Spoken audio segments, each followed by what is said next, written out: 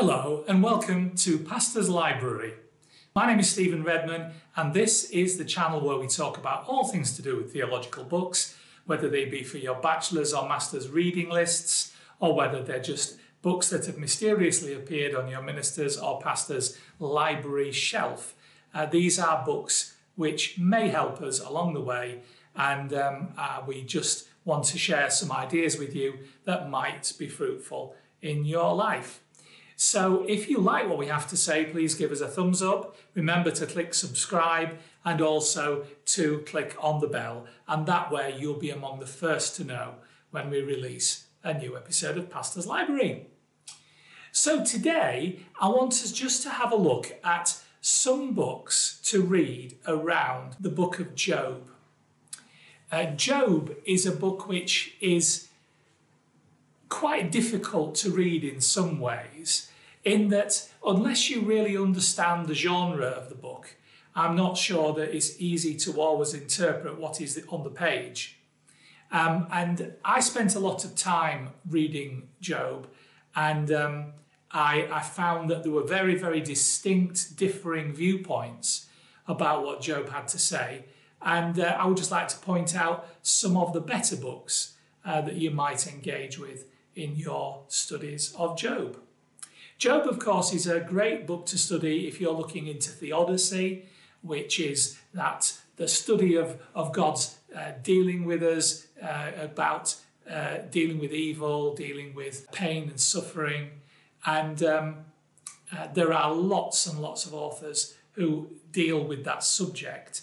And you will find huge variations in what they say, depending on their personal theology, whether they're a determinist, whether they're a free will theist, or so on. Uh, but um, today I just want to focus in just on a few mainly commentaries, but books that might help us as well with the study of Job. I'm going to start with the weird one, really, which is Archibald MacLeish, who won a Pulitzer Prize for his play called J.B uh, which is about Job, and it's not quoting the Bible, it, it, it doesn't represent the Bible 100%, but it presents JB as a play, and it won this huge American award.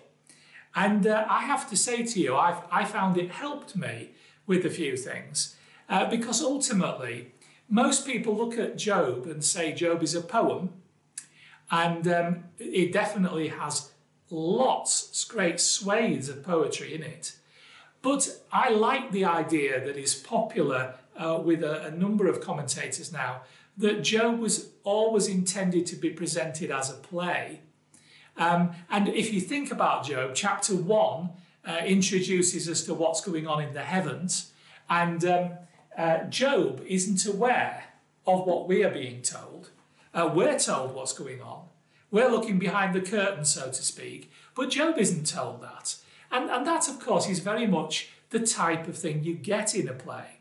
And so, whether you want to think as Job as a poem or as a play, I like to think of it as a play, uh, it's definitely uh, a worthwhile read uh, just to sort of open your mind a little bit to how things might be presented.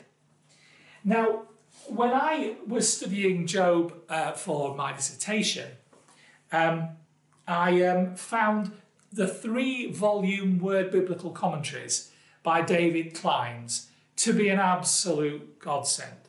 Um, three volumes of books with about a thousand pages in the first two and a little bit less in the, the third one. They give tremendous amount of detail right from the original language going through. These are at the end of the day are an academic slash technical commentary and um, whereas the layout of them isn't brilliant, uh, the content is. And David Clines is one of the world leading voices, or has been one of the world leading voices in the book of Job. And um, whereas these are not cheap, not if you're going to buy all three, uh, but these are very, very good volumes indeed. A book which I have always gone back to is the New International Commentary on the Old Testament by John Hartley. Again, John Hartley is one of those names that goes down in uh, the study of Job, and uh, this is a great, great book. And what you'll find in, in this book, as you will in, in most of the better commentaries, is, is the idea that Job is written to dismiss disprove the idea of punitive retribution. Uh, that everything that happens to us is because of what we've done, and that um, uh, bad things happen to bad people, and uh, that type of idea. And um, Hartley's very good at, um, at looking at this and helping us to note. Um, and uh, you'll find he has a lot to say about his wife's uh, encouragement to curse God, for example. Hartley is, is very, very good indeed on the book of Job. Um, a much more recent commentary is the New Beacon Bible commentary by A. Wendell Bowes, and this is a good commentary. I found it very helpful. The layout is brilliant. Uh, they are very easy to access, um, and it really is a very helpful volume on Job.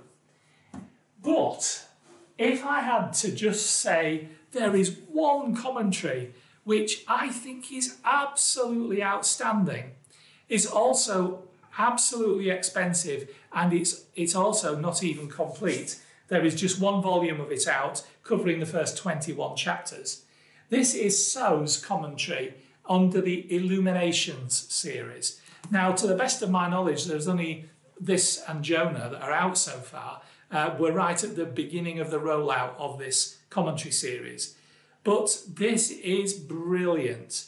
And it has a phenomenal bibliography at different uh, points in the book. Uh, it's really incredible in the man's insight into this. Um, and so um, I have to say, I would really recommend you read this above anything else. Uh, it's very, very good commentary, and it's so new. Uh, I mean, it's uh, it's only been published since um, 20, uh, 2013, um, and um, I'm hopeful that the second volume's about to come out. So watch out for that one. Um, Job in the NIVAC is also helpful. Um, probably not as good as the others, but uh, it's John Walton's writing. And frankly, I've never really read anything by John Walton that wasn't worth reading. He's quite a good commentator, and this is an excellent book too. Um, now, really, just three other books I want to mention to you. Uh, one is by Robert Fyall. Now, I like what Robert Fyall writes. Uh, he's, he's, he's very good. Um, and um, this is called Now My Eyes Have Seen You Images of Creation and Evil in the Book of Job. And this will open your eyes to a lot of what's going on between the pages. And uh, I, I, commend uh, Robert Fyall's work to you. Uh, this one is called On Job by Gustavo Gutierrez, which I hope I've pronounced anywhere near the original. Um, and this is called On Job, and it's God talk and the suffering of the innocent. And this is a really remarkable book. I found I could just sit down and read it, and um, I, I, read it over a few evenings at home, and I really enjoyed it. Uh, it it's a good book, and it's also got some interesting um, references on the back. Uh, um, commendations by other people, one of which is Elie Wiesel, uh, the Nobel laureate, who, uh, who commends this book. And then there are some good theological uh, names uh, from the Christian section as well. It's, it's a good book. Um, and I suppose the last one I'd just like to point out to you, if you're going to read around the subject, and, and let me just stress to you, reading around Job, there's a massive library of books, there really are. But I suppose the one that you really can't avoid is the Book of Job uh, by Harold Kushner, which is called When Bad Things Happen to a Good Person. And um, he's a, another book out there of a similar title, which isn't directly about Job. And he's gone back and he's written this. And, and I think it's an extremely good commentary um, by uh, a Jewish man on the book of Job.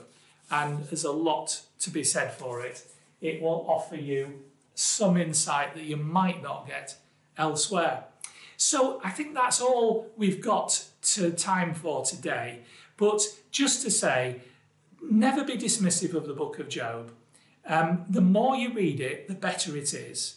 And it offers so much when you understand the perspective of the author that he, they're trying to get you to debunk this idea that because Job is ill, uh, he uh, has, has done wrong, uh, which of course is what his uh, Job's comforters are, pro- propo- propo- uh, proposing in this book. So it's a, it's um, a well worth reading. I hope you've enjoyed this. If you have, please give us thumbs up. Remember to click subscribe and click on the bell, and you'll know as soon as we issue another episode of Pastor's Library. God bless you.